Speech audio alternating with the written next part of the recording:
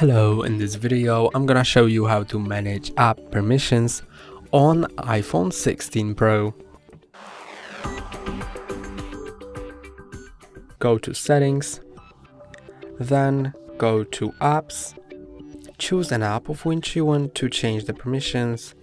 I'm gonna choose Lightroom and here are all of the permissions that you have allowed or disallowed and to change them let's go for example to photos. You can set none limited access or full access.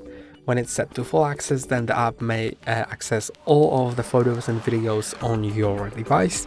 When it's set to none then it accesses none and when it's set to limited access then you get to choose which photos and videos can be accessed by the app. So let's go to limited access and now just select the photos you want the app to access.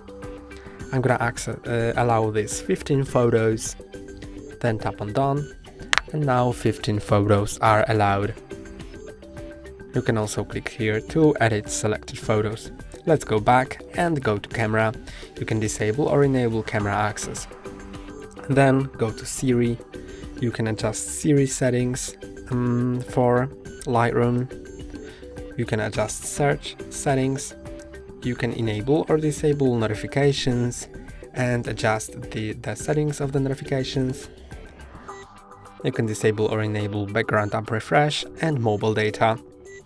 You can also change the um, app specific language. That's all for today. Don't forget to like and subscribe. See you next time.